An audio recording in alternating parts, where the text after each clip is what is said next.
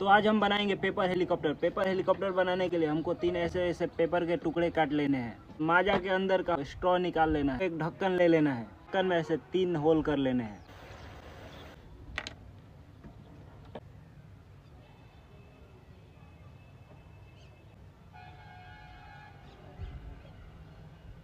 ऐसे तीन होल कर लेने के बाद इसे लगा देना है। तीनों पेपर को हमने ऐसे स्ट्रॉ में चिपका दिया है। अब हमको इसमें लगा देना है ऐसे। ऐसे कर देना है ऐसे। उसके बाद इसमें थोड़ा सा फेविक्विक डाल देना है।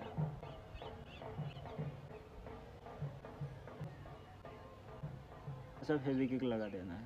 तो हमारा पंखी तैयार है। चलिए अब इसको देखते हैं कि कैसे उड़ता है ये बलून में लगा के।